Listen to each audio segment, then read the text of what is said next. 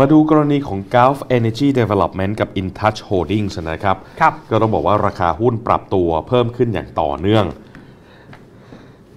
ก็มาจากความคืบหน้าในเรื่องของการควบรวมกิจการนะครับ ระหว่าง Gulf กับ InTouch ซึ่งล่าสุดผ่าน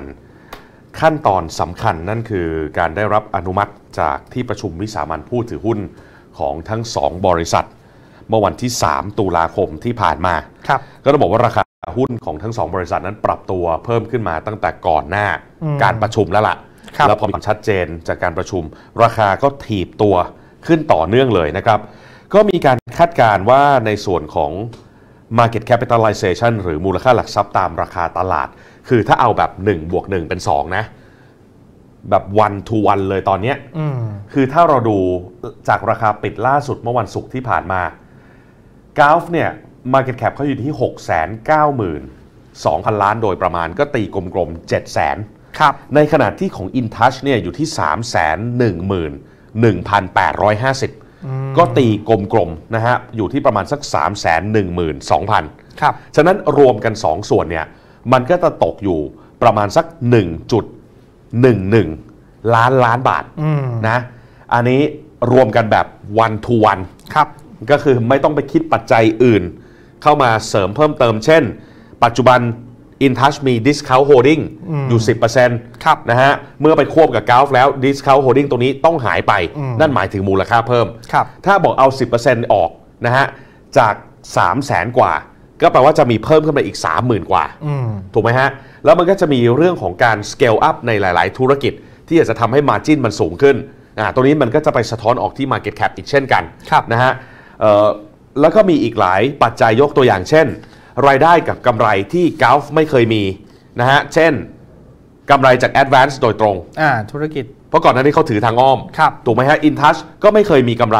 จากธุรกิจโรงไฟฟ้า จากท่าเรือทางด่วน สาธารณูปโภคต่างๆ ว่ากันไปอ่าน นะฮะเพราะฉะนั้นตรงเนี้ยมันจะเป็นมูลค่าเพิ่มที่เกิดขึ้นเพราะฉะนั้นเอาแค่ one to one วันนี้ Market Cap ถ้ารวมกัน ตกอยู่ประมาณสัก 1.1 ล้านล้านบาทครับนะฮะในขณะที่เบอร์หนึ่งเลยขณะนี้คือ Delta Electronics อยู่ที่ประมาณสัก 1.3 ล้านล้านบาทครับก็น่าสนใจว่าพอไปถึงวันที่เขาควบรวมกิจการกันแล้วเสร็จจริงๆเนี่ยมีการทำแชร์ swap ออกมาแล้วธุรกรรมแล้วเสร็จ Market Cap ของบริษัทใหม่ มันจะขยับขึ้นแซงหน้า Delta ได้หรือไม่อืม แต่ดูจากรูปการแล้วเขาทำกันมาขนาดนี้แล้วทำนี่หมายถึงว่าทำดีลนี้ขึ้นมานะครับเพราะดีลเนี่ยมันเป็นดีลที่มีความซับซ้อน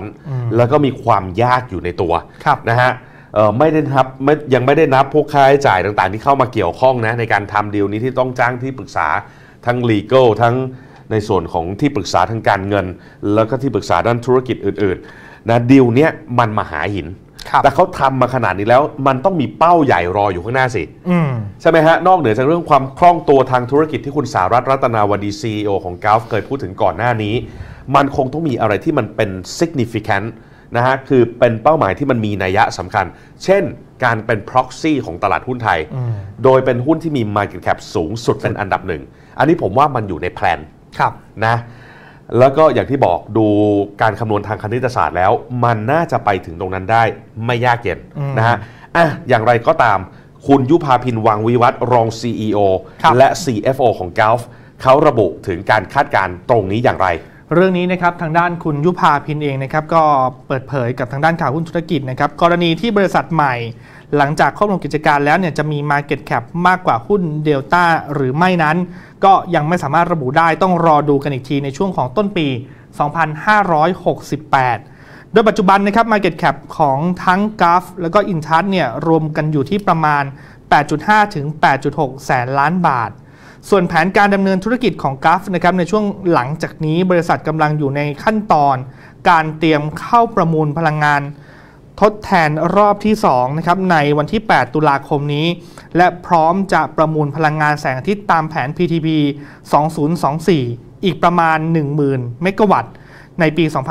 2568 นอกจากนี้นะครับยังมีธุรกิจคลาวด์ที่คาดการณ์ว่าจะเริ่มเห็นความชัดเจนในช่วงต้นปี 2568 ด้วยเช่นกัน อืมอืมแต่ตัวเลข 8.5 ถึง 8.6 นี่ผมว่าคุณยุพาพินแกอาจจะยังไม่ได้อัปเดตนะ หรือแก ปประเมินแบบต่ำอ่าถูกต้อง ประเมินแบบเขาเรียกว่า conservative ๆเพราะเอาแค่บริษัทแกก็7 0 0แสนแล้วนะ ถูกต้องครับ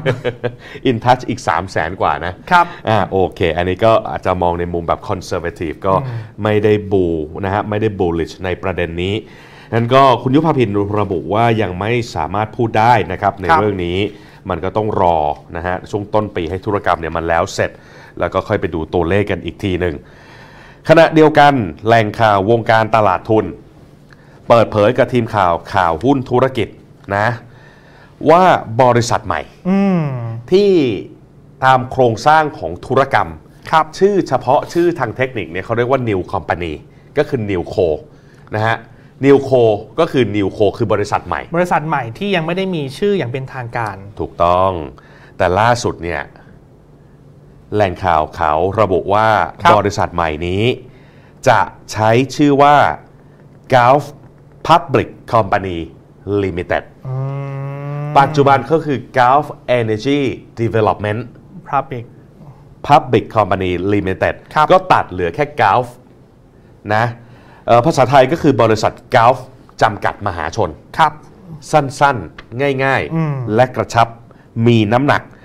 นะส่วนชื่อของ InTouch เนี่ยจะไม่ได้ถูกนำมารวมอยู่ในนี้ โดยตัวย่อหลักทรัพย์แหล่งข่าวระบุว่าจะยังคงเดิมคือ GULF Gulf ครับนะส่วนชื่อเต็มคือ Gulf Public Company Limited อืมซึ่งก่อนหน้านี้เราก็เองก็ก็เคยได้คุยกันอืมว่าจริงๆ ชื่อของกราฟเองเนี่ยเป็นที่รู้จักในแวดวงธุรกิจระดับโลก ครับ การที่จะเปลี่ยนเป็นชื่ออื่นแบบขาดไปเลยเนี่ย ดูแล้ว เสียดายเรื่องของ branding ถูกต้องที่เขาเนี่ยมีการไปติดต่อทำการค้าต่างๆ ในต่างประเทศ ถูกต้องเมื่อเทียบกับอินทัชเองที่เป็น branding ที่อยู่ในประเทศไทยเท่านั้น ผมว่าคำว่า Gulf ในความหมายดีนะครับในหลาย ๆ มิติอืมคือเอาในเชิงของเออที่ใช้ซินแสดูดวงเขาเรียกอะไรนะโหราศาสตร์ใช่ไหมใช่ครับ ในเชิงของโหราศาสตร์เนี่ยคำว่าอ่าวอ่ามันก็หมายถึงทะเลที่กว้างใหญ่ใช่ไหมใช่ และอ่าวเนี่ยมันก็หมายถึงการรับ มาซึ่งไม่ว่าจะเป็นสิ่งมีชีวิตที่อยู่ในน้ำหรือทรัพยากรต่างๆ ที่มันไหลเข้ามา ถูกต้องก็คือเปิดอ่าวเป็นพลังเข้ามา ถูกต้องอืมเอ่ออันนี้ในเชิงเชิงความหมายในเชิงของโหราศาสตร์นะครับ เอ่อถ้ามองในเรื่องของภูมิศาสตร์ อืม และการตีความเมื่อกี้โหราศาสตร์ ครับ พอพูดถึงกอล์ฟเนี่ยเราจะนึกถึง ภาพของตะวันออกกลาง อ่า อย่างอ่าวเพอร์เซียครับ นะฮะ จริงในภาษาพูดเนี่ยก็จะเรียกกันเป็นเป็นภาษาพูดนะอืมเอ่อว่าประเทศในกลุ่มสมาชิกของอ่าวเปอร์เซียเนี่ยเขาจะเรียกว่ากลุ่มเอ่อประเทศอ่าวครับนะฮะเอ่ออันนี้มันเป็นคำเฉพาะคำพูดเฉพาะที่เรียกกันและเข้าใจกันเอ่อว่าเป็นกลุ่มประว่ากลุ่มประเทศอ่าวเนี่ยก็คือชาติพันธมิตรในอ่าวเปอร์เซียอืมนะฮะแล้วพอพูดถึงชาติพันธมิตรในอ่าวเปอร์เซีย เราก็มักจะนึกถึงธุรกิจพลังงานถูกไหมครับ ซึ่ง Gulf Energy Development ซึ่งกำลังจะกลายเป็น Gulf Public Company Limited ก็เป็นบริษัทที่ประกอบธุรกิจด้านพลังงาน ผมว่ามันมีความเชื่อมโยงกันอยู่หลายมิติ ครับ แล้วพอพูดถึงคำว่า Gulf เนี่ย คือนอกเหนือจากโครงสร้างธุรกิจ แล้วก็การขยายการลงทุนของเขา ที่ไปทำให้ตัวเองเป็นที่รู้จักในเวทีโลกเนี่ยนะฮะ แต่พอคำว่า Gulf เนี่ยนะฮะ ฝรั่งเขาอ่านแล้วมันมีความอินเตอร์อยู่ในตัวอ่าใช่ไหมฮะ แล้วเราก็คุยกันเองนอกรอบว่า ถ้าจะตัดชื่อ Gulf ทิ้งไปมันคงไม่ make sense ครับ เพราะชื่อมันติดตลาดโลกแล้ว ใช่ใช่ไหมแล้วความหมายก็ดีอย่างที่บอกทั้งในเชิงโหราศาสตร์ ครับ และในเชิงของภูมิศาสตร์อืม นะอ้าวโอเคก็ประมาณนี้ประมาณนี้ส่วนเอ่อ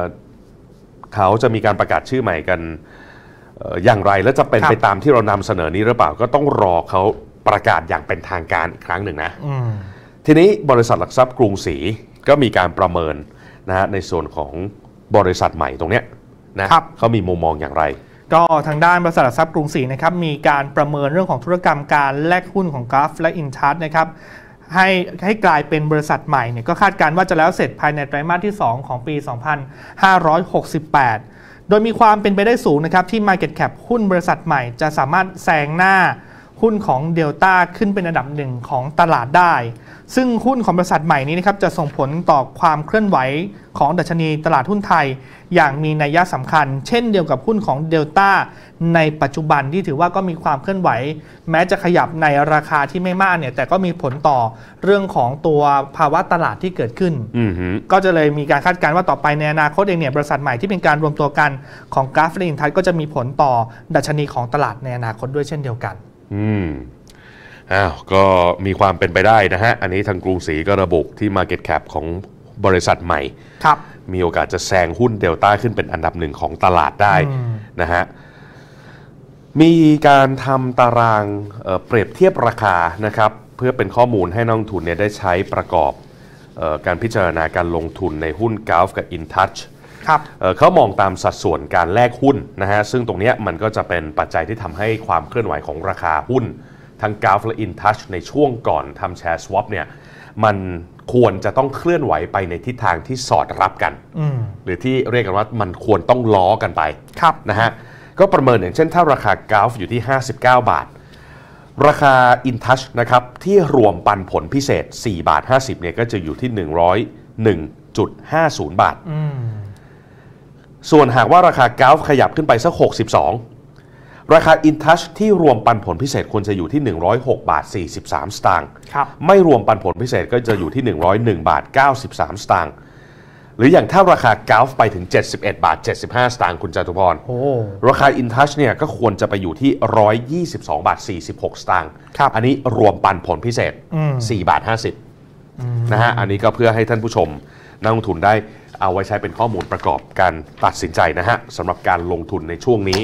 ก็ดูน่าจะเป็น 2 หุ้นที่คึกคักมากที่สุดครับในตลาดหุ้น ช่วงนี้ก็เป็นซุปเปอร์ดิวนะฮะ เพราะว่าดิวล้านล้านนี่ประเทศไทยไม่เคยมีมาก่อน นานๆทีครับ ไม่เคยมีอะดิวล้านล้านไม่เคยมีครับ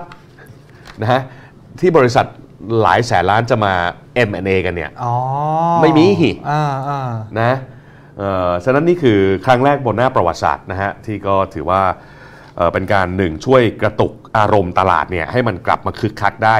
นะฮะแล้วก็แน่นอนเป็นการรวมรวมกันของ 2 กิจการขนาดใหญ่ครับนะที่น่าจะสร้างมูลค่าเพิ่มให้กับผู้ถือหุ้นของทั้ง 2 บริษัทได้เป็นอย่างดีอะนะครับก็ถือว่าเดี๋ยวรอดูกันต่อ